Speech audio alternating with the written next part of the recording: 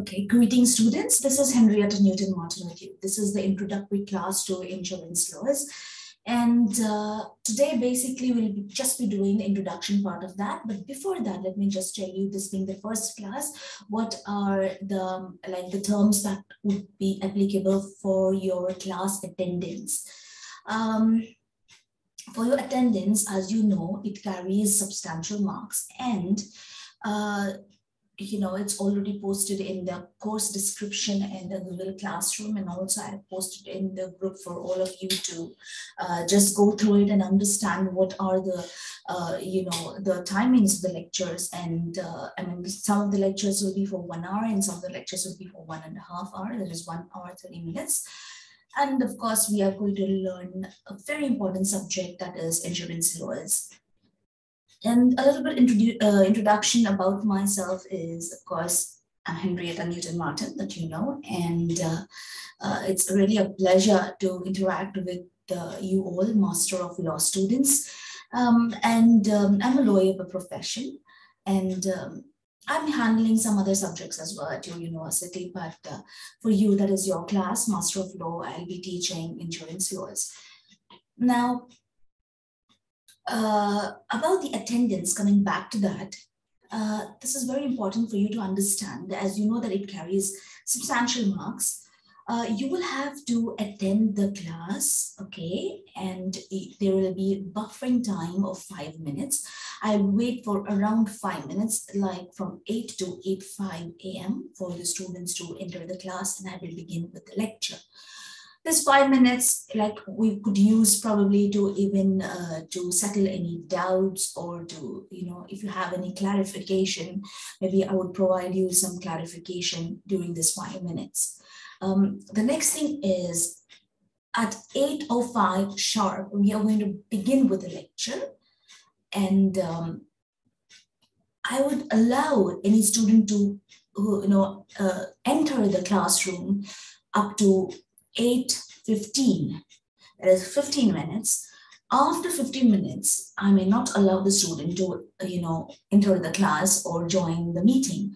Now, the reason is because the first 10 minutes is you know a crucial time where we introduce the chapter to you and during the introduction phase it's important that any student understands the you know the outline of what we got, we're going to learn during the next 45 minutes or you know the next 45 plus 30 minutes depending how long the class is. And you know the duration of the class is already adumbrated in your course uh, module as well in your course description as well cdls um, so that is a reason and uh, I, I prefer a little bit of discipline and I'm here to cooperate with you and uh, um, I uh, wish that uh, you provide me the same cooperation.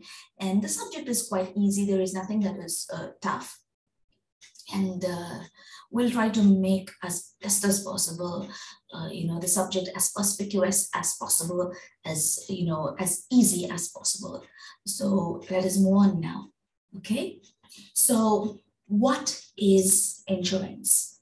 you all know, you must have heard about the term insurance and you must have heard about life insurance, marine insurance, motor vehicle insurance, and so on. What is insurance? Of course, you know that insurance covers risks. Um, every human being or in a society or in a structure, everyone is exposed to risk. And those risks may cause perils, may expose you to certain perils, like peril of or the threat of you know fire or the threat of accident or you know death and so on sickness. So to cover such perils cover such risks uh, insurance acts as a social tool which enables the insured, that is the one who obtains the insurance policy, to cover up the losses just in case he encounters any losses as a result of the you know the the potential or imminent threat or a danger that he has been exposed to or that has manifested. So this is what insurance is in simple terms. It's a social tool. It's a legal tool. It's a social tool. It's a social legal tool rather. Uh, now, as you know, there are different types of insurance. There is life insurance. There is, uh, uh, you know, uh, insurance against theft. There is motor vehicles insurance. There is marine insurance, and so on. The idea is that you know, person and property are protected. And the concept of insurance is just not any new concept or something that's developed over, say, around 20 years, 30 years. I believe it has been existing for quite some time in the sense that uh, actually it is existing in some parts of the world from time immemorial and it is now concretized into laws say for the past you know 60 decades or 50 to 60 decades it has been concretized in the form of laws or codified laws uh, in different jurisdictions and in some part of the uh, parts of the world. And now depending upon which part of the world it is like for example in india it has been existing from time immemorial in the sense like we could date it back into the ancient times and uh, it's it started getting kind of shape and form in the form of codified law. It came around somewhere in 1950s. Uh, so it depends which part of the world you are in, which part of the you know, uh, which is the jurisdiction that we are talking about. But here in this class, we are going to study the international perspective of insurance law as the basic concept, and uh, of course laws uh, you know, vary from country to country, but the concept of insurance remains the same. Now, let us, having said this, now let us move on to, uh, you know, to our slides. And uh, without wasting any time, we'll go through our slides and see what is insurance. And uh, we will go through the, you know, the important precepts of insurance.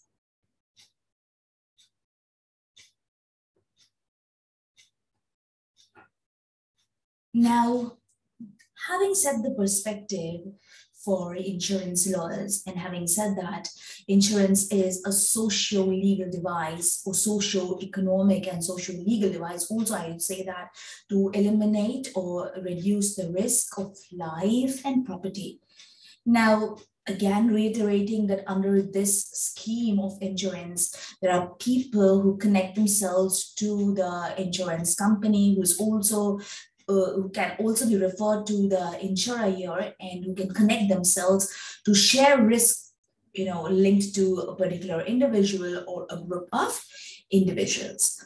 Now, again, before we move further to the slides, I want you to know that insurance today is governed by insurance contract. Okay, so there is a contract that is signed by the uh, by two parties basically were involved here. That is, one person would be called as the insurer, and that is the insurance company and the other party would be called as the insured that is a party who is getting insured so they normally the insurance company undertakes in exchange for a fixed amount which is called as premium to pay to the other party on the happening of a, you know a particular event or particular uh, you know it could be an unforeseen it may be unforeseen event or an event which uh, probably it was impending, that was uh, was really apprehended, or something that could not be really seen. So therefore, today we are talking about insurance, and in the legal perspective, we are going to talk about insurance laws which actually speaks about the practices of law which surrounds insurance and covers insurance claims and policies because sometimes what happens is even insurance companies default in making payments and certain uh, you know companies they have uh, you know always insurance company as you know they have a group of underwriters as well as they've got a group of uh, lawyers or a legal team involved there.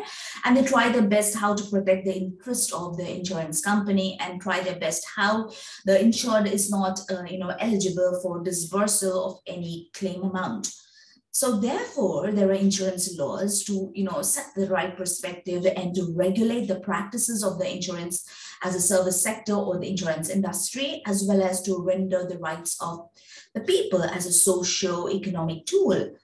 Therefore, insurance is regulated by laws, which are particularly aimed at, you know, uh, to put it in right words, assuring solvency of insurance companies Now, this sort of regulation basically regulates in terms of policies or reserve policies, capitalization, or you know sometimes they have uh, different rates, percentages that needs to be devised, and also back office procedures. And insurance, as you know, it's a crucial tool. It's a significant tool which basically provides sense and uh, a sense of safety to the society as a whole. Now, again, I'm reiterating a particular point that has to be drilled into your minds. That is, what is the need of insurance? Of course, to cover the risks which are unpredictable or which may be uncertain in nature. So when you think of insurance, it is normally about covering of risks and risks pertaining to property as well as a person. So getting an insurance, for example, for an asset now does not imply that the asset has protection against risk or its exposure to risk is decreased, but it actually means that if the asset, you know, is exposed to any loss in value due to particular danger that it may be exposed to, then the insurance company would carry the loss and compensate the insured, that is the policyholder, uh, you know, to compensate and make good the loss to him in the sense that you make some payment to him that, and you know, in the way that the, the person has paid premium and calculatively the insurance company would pay back, uh, you know, depending upon the loss and calculatively to pay back to the insured. So therefore, insurance laws, if they act as an uh, you know effective tool a significant tool in promoting even investments or savings, and also especially where these investments are pooled together and it also causes overall economic growth within a particular country. So now moving further with the slides, we will see again in a repetitive form again, you know, in a simple way, what is insurance? Now, as the slide says, in life, we inevitably come across failures or we hear stories of accidents, sickness, and the lows of human existence. I'm talking about the lows, the, the times where a person may be low in life or where the property is, uh, you know, destroyed, where economically low a person is plunged into the lows of economic existence. So here we hear about miserable incidents as well sometimes uh, of destruction of life and property. Now, existence and sustenance of life inevitably involves risk. Such risks need to be covered and combated in case of manifestation of such risk to avoid deprivation and degradation of human sustenance. Now, to cover such risks, we will see what is a risk later, but to cover such risks, we, which have the potential to hamper personal, individual, family, or corporate finances in the form of financial loss or damage to body or property, insurance is needed. And thus, this sector plays significant role towards maintaining and building the society. Now, risk, of course, is exposure to peril.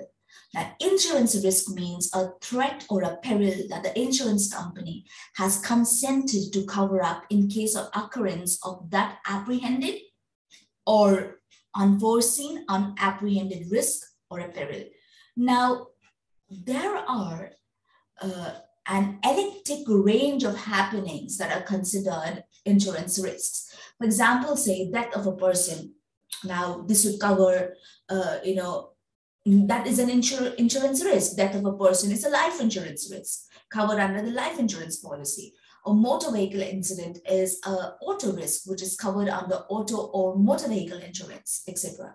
So insurance sector, that's what that's how it comprises of companies that sell insurance policies and collect deposits in the form of premiums. So when the insurance policy holder, they make uh, you know regular payments at periodical levels. It could be monthly, or you may fortnightly, or it could be even once in three months. So they pay, you know, deposits. So insurance company collects deposits from the insurance uh, policy holders, and those depo deposits are called as premiums, which may be released at the culmination of the policy towards the end of the policy or an occurrence of particular risk which the policy seeks to cover. Now, what are the features of this risk? Now, how are risks examined to be insurable? Now, the question is, what kind of risks or what are the factors that are considered by the insurance company to decide whether a particular risk has to be insured by the company. One is it must be of value. Whatever is going to be insured, it must be of value. Example, of course, every property has got some economic value attached to it, be it a car or a house to protect a house from fire or a car from being stolen or from accidents and so on. So the the the the uh, the thing that has to be insured or the product that sh should be insured or whatever the subject matter has to be of value it should be calculable and significant enough to be able to be calculated next is risk transfer risk transfer must be within an affordable bracket Next is risk sought to be insured must be characteristically straightforward and definable to the extent that it supports objective verification. And risk again must be unintended and assumable. Next is losses may be direct or indirect. Direct losses refers to destruction of the property or a person itself. Indirect refers to consequential loss as a result of direct loss. In case of damage to third party, that refers to liability risk, or the losses caused by the actions of the insured or the policyholder. So thereby risks may be uncertain and unintentional where the concepts of probability and possibility come to the fore. Now, how does this insurance work? What is the nature of insurance? Insurance could also be called as a risk management tool to hedge risks and losses or to, you know, to cover up risks and losses. So you can also call insurance as a risk management tool. So now listen here carefully. You could call insurance as a risk management tool. I said insurance is also a social economic tool as well as a social legal tool. Next is we can view, you know, or to understand the nature of insurance, uh, uh, you know, we can just observe it or examine it in two angles. One is the societal angle, and next is the personal or a private angle. So, what is the societal angle? Societal angle, in the sense, it is like you view it with the eyes of, uh, you know, the society or in what way it would benefit the society from the social point of view or the societal angle, the risk transfer mechanism of insurance, it works in a way that it collects premium. I, I, as I said earlier, what is premium? I told you what is premium and explained to you what is insurance and that it is a socio-economic tool, a socio-legal tool. It's also a risk management tool. And uh, it collects premium from whom? From the, from whom does it collect uh, premium? that is, you know, where again, I'm repeating it for you because uh, Rukia, you have joined in now. So, uh, you know, the insurance companies are also called as the insurers because they are the ones who are insuring the person. They are rendering insurance policy to the person. So they pro what how how would they gather that amount? So what is the mechanism involved there? Now, this risk transfer mechanism of insurance works in a way that it collects premium that is particular amount of money depending upon the type of insurance and the, the amount that is involved in the insurance. So the, the insured or the insurance policy holder is expected to pay a particular fixed sum of money during regular intervals. It could be, you know, uh, fortnightly, it could be even uh, you know, monthly or even once in three months. It depends upon the type of insurance. So they collect premium in order to pool resources, means gather resources, and then they disburse them or they, you know, they give it to those who are part of the policy at the right time they need. So this is the social angle in the sense that the insurance uh, you know policy collects amount money and then it tries to you know disburse it or provide it to particular people who are in need. Next is the personal angle or the private angle. So unfortunate situations are covered by insurance policies we know that and also operates as a pecuniary tool. What is a pecuniary tool? That means an economic tool or financial tool. It's a something related to finances and money uh, would be uh, I mean, you could refer it to as pecuniary. So what is it, so we, we could say that it operates as a pecuniary tool to combat the blow of an unfortunate event that has impacted the life, body, property of the policyholder. So, so far we said that insurance works as what? What kind of tool? I said insurance works as a social tool. So you could add these points also under nature. Remember, though it's not mentioned in the slide, I don't think it's going to be mentioned in notes as well, which I'm giving you because it was prepared long back, but I'm just reiterating so that you understand now under nature. You could say that what is insurance? You have to always give the definition in case the question comes to you for exam. What is insurance and explain the nature of it? So you'll have to give me the definition of insurance. What is insurance? What are the concepts in insurance? And then you have to come about with nature and the points for the angles, the societal angle, the personal and private angle. And you'll also be uh, have you also have to be mentioning about uh, an insurance as a significant tool in the society.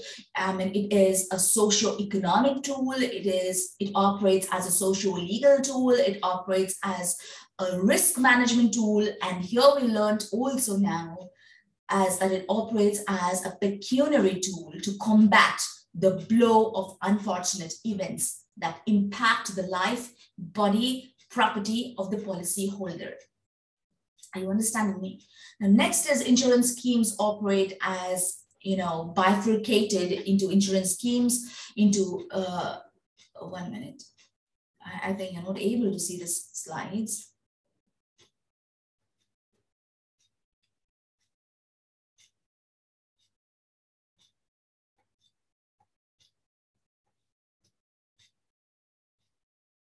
Okay, you can bifurcate it into um, uh, you know, uh, never mind, it's not because uh, the thing is hiding it, no problem. So insurance schemes operate as a bifurcated tool. Okay, it's clear now.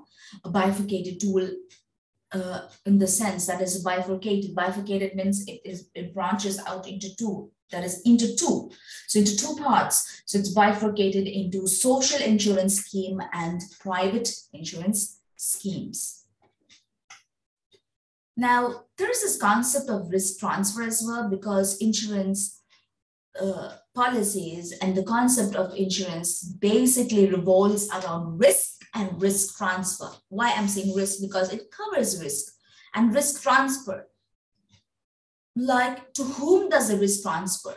In simple uh, uh, you know words the risk transfers from the person who obtains the insurance policy that is the insured to the insurance company where the insurance company or the he's also called as the insurer in this in this transaction. So that is the insurer takes the uh, uh, gets the risk transferred onto himself or itself because it's a company transfers into the you know to the insurance company where the insurance company assures the insured that in case of the manifestation of any of the risk or uh, in case there is uh, you know the if if the insured is exposed to any risk then the insurance company would you know take over the risk and compensate for the loss that has occurred as a result of the manifestation of the risk or exposure to that particular risk. So risk transfer therefore is a foundational precept. It is a foundational precept. You know it is a constitutional tenet of the most of most insurance transactions wherein risk transfer is a specific risk and is comprehensively outlined and defined. And that defined risk is passed on from one party to another that is the insured and to the insurance uh, that is the insured and the insurance policyholder. But from whom does it transfer? It, it's transferred from the insurance policyholder to the insurance company now, it is this company, insurance company, or the insurer who covenants to take the risk by executing the insurance contract and binding the insured and binds the insured to the terms of the policy.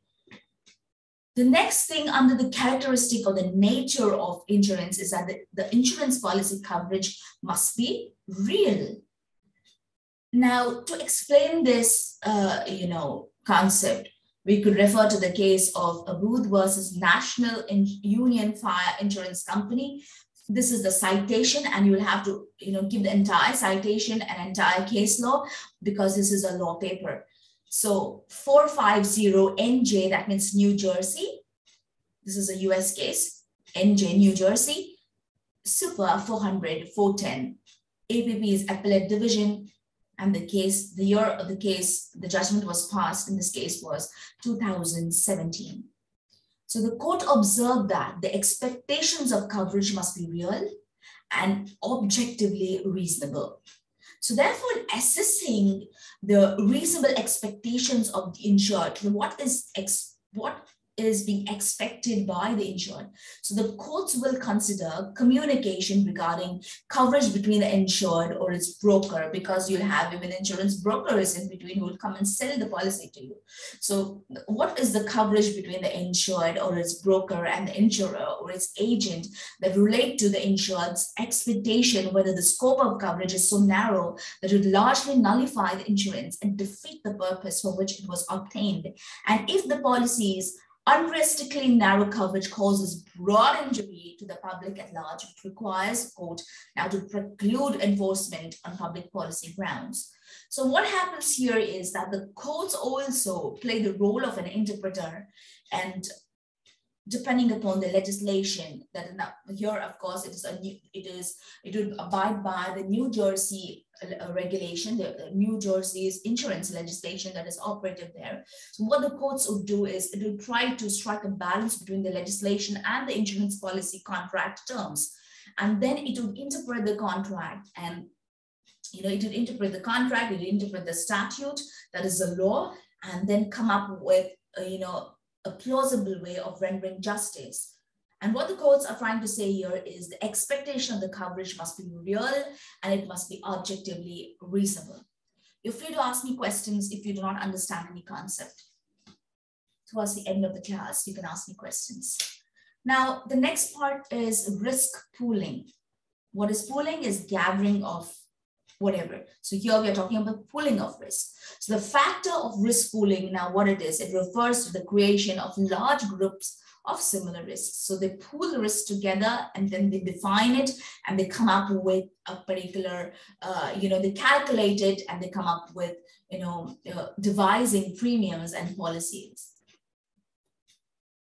Next is what are the foundational principles of insurance? And this also can be covered under nature and or you could write it under a separate answer if they ask you on the foundational principles of insurance if a question comes in foundational principle of uh, insurance then your introduction to this foundational principles of insurance should be the entire stuff whatever we have discussed now including the nature that should be the uh, you know the introduction part of it. And then you mention the foundational principles of insurance highlight it and then you go on to explain what are the principles on which uh, the concept of insurance and the legislations and the laws of insurance are, you know, are devised or how they are built.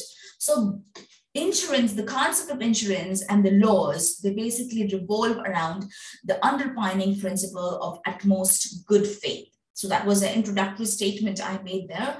And utmost good faith is in law. Normally there is a Latin phrase uh, which is used for utmost good faith, that is, uh, you know, uh, uberrima fide. And I'm going to just write it in my notes as well for you so that you will understand about uberrima fide.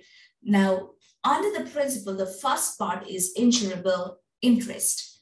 This is very, very important because even in rendering justice, the courts have to consider the prevalence of insurable interest in any particular case. Even while the insurance company or the insurer decides to give an insurance policy to a person who wants it or to a company who wants it, they first sit and decide upon whether the person has insurance, uh, sorry, insurable interest. Now, what is this insurable interest? Insurable interest is used to describe, this term is used to describe the nexus or the connection between the insured and the subject matter of the insurance. That is, who is insuring it and what is the connection with the subject matter of the insurance? Like, for example, there is a car, A owns a car, and our question is, who has to insure the car is A. Insurance policy has to be in the name of A. And suppose A is not available and B insures the car. So on whom does insurance insurable interest lies? B is just the friend of A, but to, who's uh, the owner of the car? So insurable interest. So the owner of the car has an insurable interest because he's the owner of it. He's paid the price for it. And in case of loss, who suffers the loss is the owner. Are you understanding me? So insurable interest is basically the nexus or the connection between the insured and the subject matter of insurance. Such an interest exists when an insured person derives a pecuniary, that is financial benefit from the continued existence of the insured object or suffers a financial loss from the loss of the insured object. I gave you an example, a simple example saying that A owns a car, and so it is A who has insurable interest in the car. So in case there is loss of car or theft of car or car meets with an accident, so who will, who will have to suffer the loss is the, the owner, that is Mr. A has to suffer the loss. So who will be, uh, you know, granted an insurance policy is A because he has an insurable, insurable interest and not B or C, even if B or C is A's best friend. So a person is said to have an insurable interest in something when the loss or damage caused to the insured items would directly affect the person. So this is something very, very important or it's highly significant that you understand what is insurable interest because this is a basic principle that revolves around the concept and the laws and legislation legislations of insurance across the globe or internationally. Because there are so many countries and every country has its own law but the concept of insurance remains the same Next is all insurance is based on the concept of wager. This is again under insurable interest. That, that, is the happening. What's wager? That's a happening of an unknown event. You don't even know what is the event. So it's based on the concept of wager. So the courts have developed the concept of insurable interest, therefore, to constrain the concept of wager, to appropriate it to a purposeful concept of legally covering pecuniary losses. So thereby, an insurable interest is a legal right to enter into an insurance contract. Now, a person or entity is said to have an insurable interest if the event insured against could cause the individual or a company a financial loss. So an insurable interest, this insurable interest is fortified in a valid contract or an insurable interest is fortified in a valid contract or I would say that insurance insurable interest is given shape in the form of words in a valid insurance contract. Because how would you explain insurable interest? It has to find its place. It's better that it find its it find its place in a you know a well drafted uh, you know insurance contract. So that exemplifies the right of uh, no, the insured, there's a word missing there, the right of the insured to claim for the losses incurred, which are covered in the relevant insurance policy obtained by the insured. I hope this is clear. Now, what I'm trying to say is just because it's important, I'm reiterating it for you, I'm repeating it for you. So this insurable interest, the concept of insurance, uh, insurable interest has to be uh, you know, explained in simple terms. Fortified means it should find itself strengthened in the insurance contract, a valid contract, in a valid insurance contract. So now when it's mentioned there, it's, you know, it's amply clear in case of any dispute. So that exemplifies or it you know magnifies the right of the insured, that is the person who holds the insurance policy. It magnifies the right of the insured. That is, it you know it kind of puts him in a better position to to explain his claim, explain his right saying that yes, I have an insurable interest in the policy. Look at the clause also in the contract, the insurance contract. So it exemplifies the right of the person to claim, of the insured person to claim for the losses incurred, which are covered under the relevant insurance policy obtained by the insured. Now, in the case of Hyman versus Sun Insurance Company, again, this is a New Jersey, USA case. Appellate division, this is an appeal case where the court referred to another case, that is the case of Farmers Mutual Finance Insurance Company of Georgia versus Pollock. uh, Georgia is in South Carolina. 52, you know, GA at the, it's again an appeal case, 603 and so on. So in this particular case, in the farmer's case, there was a particular saying or a particular observation by the judge. And this observation was quoted in Heyman's case. Heyman's was his Sun Insurance Company. Now let's see what the court has observed here. In the farmer's case, which was quoted in Hyman's case. Now, here the court said that other courts have looked at insurable interest with respect to property as whether the insured has such right title, he will benefit, he will be benefited by its preservation and continued existence or suffer a direct pecuniary loss, that means a financial loss from its destruction or injury by the peril insured against. Next is the Schottmeyer's case versus again, it's a New Jersey case as well, New Jersey Realty Title Insurance Company. It's a 2008 case where the court observed that the law's requirement that an insured, that is a person who holds an insurance policy or the beneficiary of the policy, that is, um, you know, like sometimes uh, you have life insurance policy and life insurance policy is like in case the person is no more, so the amount that is gathered, this particular premium would be accounted in favor of the, a beneficiary, say the daughter of the person or the son of the person.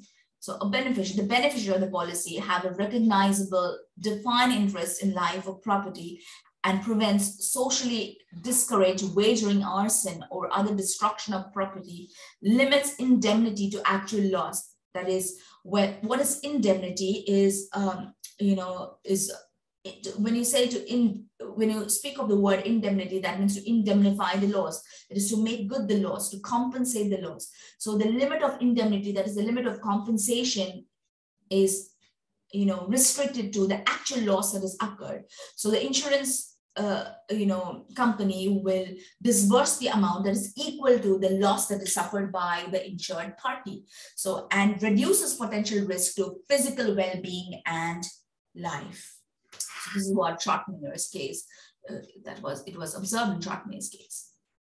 Now, next principle, very, very important principle, apart from insurable interest in insurance laws and the concept of insurance overall internationally. One is, of course, as I said, insurable interest. Internationally, I'm talking about everywhere it is possible. Every country normally follows insurable interest. Next is utmost good faith. Normally, everyone understands in the insurance sector that insurance laws and the concept of insurance and the policies of insurance operate under the principle of uberrima fide. That means it's a Latin phrase for utmost good faith. Uberrima fide means utmost good faith.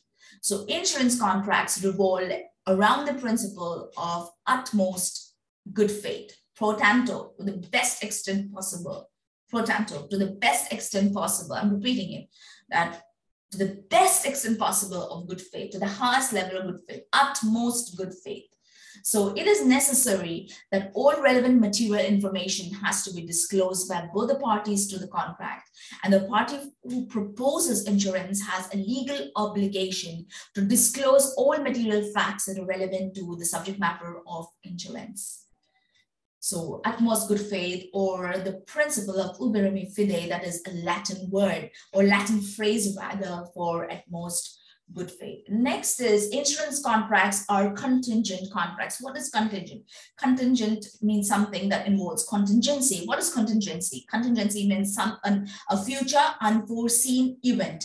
It is based on the extrapolation of an unforeseen event or apprehension of what is apprehension, the fear or threat of unforeseen event, an imminent event which is unforeseen, which is most highly probable, which may or not be predicted, thereby there is something to probably to occur they, that they have referred to, so they will be referred to as contingent contracts. That is, there is a possibility of it happening. For example, contingent contracts, death of a person. Everybody knows it's going to happen. We do not know when, but it's better that somebody is covered by a life insurance policy that in case of death of a person, then the amount is disbursed to the beneficiary of it. So contingent contract, insurance contracts are contingent contracts and it will be disbursed on the happening of a particular event, which is unforeseen, uncertain, would not know when it would happen or what would happen. Even if, for example, fire, uh, you know, insurance, marine insurance, accident insur insurance against accidents, motor vehicle. We, we not always say that, yes, we want to meet with an accident, but it's just that to protect yourself against losses should it happen. Eh, accidents could also mean that your car is just standing there, somebody yeah, I mean, there's no driver in the car. It is static. It's just parked there, and somebody else comes and you know dashes the car, and you know the car is damaged. So there are several insurances. Well, so it operates around the the the principle of contingency. So so far we have learned three important principles. One principle which you must know, like you must know, like you must know, is one is the concept or the principle of uberrima fide. It's an internationally renowned principle of insurance. Everyone knows about this, and so you should be knowing about it as a student as well as even if you're working or you're you know, even as a customer, as you know, the, a, a, a, customer of an insurance company, you should understand that you know, insurance laws, legislation, policies work around, revolve around the principle of uberrima fide, that is utmost good faith. Also on the concept of the principle of uh, insurable interest, which is very important. That's a basic tenet. Insurable interest is, I would consider it as a constitutional tenet, the basic tenet of insurance laws and the concept of insurance as well. Apart from that, what is the next thing that we learned? Uberrima fide, insurable interest, and contingent contract, that is on happening of a particular event, the amount will be disbursed. Next is principle of indemnity. What is, in simple words, what is indemnity? Is to indemnify the loss. So indemnity would be a clause in the insurance contract. There would be a contract that a person would sign and indemnity clause will be there. And normally indemnity clause is in most civil contracts. It's mostly available in every contract, but it depends upon the type of contract. Probably some of the contracts will not have it, but indemnity would find its place in mostly every contract. Mostly I'm talking about because I cannot give you some examples here because time is a factor and we are, we'll try to confine ourselves with insurance laws. So the principle of indemnity basically refers to making good the loss for the person in the sense that compensate the loss incurred to the insured. However, principle of indemnity in case of insurance, you know, does not apply to life insurance policy. Because the question is, how would you make good the loss? Because life insurance policy operates around the principle of assurance rather than indemnity. So next is the principle of assurance. Principle of assurance is used in case of life insurance policies where the life insurer, that is the policyholder, plays a, a, a, uh, sorry, a pays a fixed amount as specified and as agreed in the contract. And such amount is called as a sum that is assured. Thus, life insurance contracts come within the ambit of contracts of assurance. And when the amount is disbursed, it can be disbursed even to the beneficiary. Next is the principle of subrogation. The term may look difficult, but it's a very easy concept. Please uh, like, you know, give me your patient hearing on this as well. So principle of subrogation. What is the principle of subrogation? Sorry, just dragging the table for my comfort. So, you know, principle of subrogation. What is subrogation? Subrogation simply means like taking over something. Let me put it like that. It's taking over something. Where someone has to do something and somebody else does it in advance, okay, and the person for whom it is done, again, cannot claim it from some other person. Now, in the insurance perspective, you could call it, uh, you know, you could, you know, connect it to taking over of insur insured's right of claim now, what is there in insurance is normally we talk about claims. So in case of an event that is taken place, say for example, an accident. So when there is an accident, there is a loss of that particular property, say a, a motor vehicle accident, the car is damaged severely, and now it's time to go and claim from the insurance company. So now this insurance claim, okay, is sought by the insured from the insurance company. Now, say that there is another claim, uh, I mean, there is a court case as well. There is a case that is filed in the court and the party claims compensation as well, and also makes a reference to, you know, insurance and that he must be covered. So what happens in such cases is what the law says, you should not be profited doubly. That is, you cannot be profited twice. You cannot be paid twice.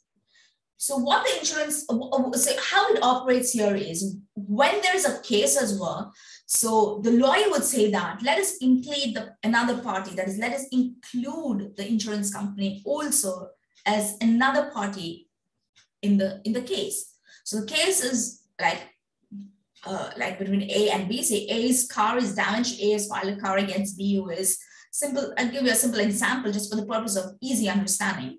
A's car is damaged, and B is the one who you know really hit A's car. So he files a case against B Okay. Now, the question comes of subrogation. So A says to the insurance company, I will make you a party in the case. I'll make you the plaintiff in the case. So you will be along with me. And so when the court releases money, to the extent of the insurance uh, uh, amount that you'll be disbursing or giving it to me, you can take it from the court when the court releases the amount.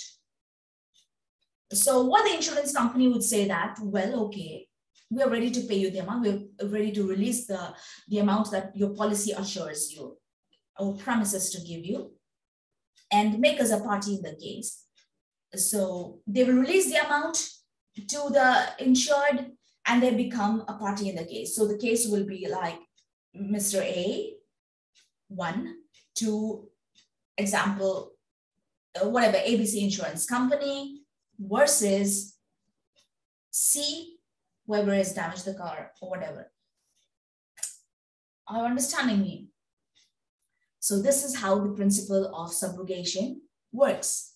So let us again go to the slide as it says. In simple terms, when the insurance company disburses the amount to the insured and the insured tries to make a claim elsewhere, for instance, to the court of law, uh, uh, just before uh, uh, before I move further, I would like to remind you, and even Rukia who's here, that in case we get disconnected, please join back again, okay? Because uh, this meeting runs, you know, for normally some time, and after some time it gets disconnected. in case we get disconnected, please join back. The class continues. So now, in simple terms, when the insurance company disburses the amount to the insured and the insured tries to make a claim elsewhere, for instance, through the court of law, then in such a situation, the amount of claim will be subrogated to the insurance company, the insurer, that is to the extent of the amount disbursed to the insured under the relevant insurance scheme. Next is the principle of contribution that revolves around the concept and the laws that are that the govern insurance policies what is this principle of contribution? It refers to the right of the insurance company, that is the insurer, to recover a proportionate amount from other insurance companies, that is insurers, under whose scheme the insurers come. This now this happens if uh, if the you know if the insured, that is the policyholder, has even other policies from other insurance companies. So thereby the insurers collectively under different policies would contribute to indemnifying the loss of the insured. So this is the principle of contribution when the a person or a company has more than one insurance policy on the same subject matter. Next, the principle of proximate cause. This is very, very important again. All these principles are important because these are the principles which form even a part of the nature of insurance and it, it's you know there are the characteristic of basic features of insurance and important principles around which the concept and the legislation of insurance across the globe it operates. There are different laws of insurance different names are given to it but the basic principles are these principles what we are talking about.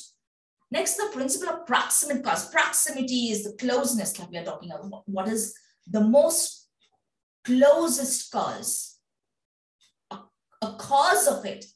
See, for an effect, there has to be cause. So that's called as causation. There is something called as causation theory. What is causation theory is the relationship between the cause and the effect. For example, cause is accident, effect is destruction of property, destruction of the car.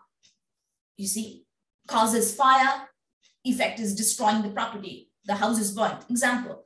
So the concept considers the cause of the loss that is most proximate. That is, what is the closest cause to the loss? Now, this happens when there are other supervening factors and there are other factors which are revolving, and there are many reasons how the damage has been caused. So that is where the insurance company would play an important role here, mind you, listen carefully. They will want to see how, you know, the lawyers there would see that how they will, uh, you know, protect themselves in the way that they do not want to really, you know, honor the claim of a person or they do not want to really disburse the claim because they work in the best interest of their own insurance company. So they see that whether the person is really entitled to, in the sense, whether the policy covers the cause. Let me give you an example here for you to understand this entire thing. Like say, for example, say, for example, uh, you know, A, A has a life insurance policy, okay? A has a life insurance policy and uh, okay, let's not say life insurance. Let's say A is driving a car. A is driving a car, and there's motor vehicle uh, accident there, and uh, you know, plus he has a life insurance policy as well. Let us say both motor vehicle policy and life insurance policy, and A meets with an accident, and uh, as a result, he dies. So further, they say, further they say that uh, okay, there's a question of claim now. A's family goes and claims from the insurance company. So the insurance company says, okay, the life insurance part is okay. The motor vehicle insurance says that, well, we cannot really uh, disburse the amount to you because uh, you see A has died because in the pursuit of, you know, the obviously there is hospital the, the person is taken to the hospital there is a report, medical report which is uh, initiated and generated and the medical report says that the person has died due to a heart attack. And uh, really there are not much bruises to the body of the person to the extent that it would uh, you know it would really cause the death of the person. So what the motor vehicle insurance people would do is normally they would try to uh, you know shun away from their responsibility of disbursing this amount and they would come up with a defense saying no we are not really entitled to pay the amount. The reason is that the person has died of a heart attack as per the medical report and not really as a result of the accident and so on. And just you an example. So the question here is what is the most proximate cause? Whether it's a heart attack or the accident but the answer to this is the impact of the, the impact that the accident has had upon him is that it has given him a shock and that has given him a heart attack. Are you understanding me? So what the courts did, just giving a simple example, okay? Not, don't take it literally, but just trying to explain to you about proximate cause. So in this case, what they will do is they will try to really ascertain what is the closest cause for the loss that has occurred the loss itself or the loss that has occurred in order to conclude on the disbursal of the insurance claim.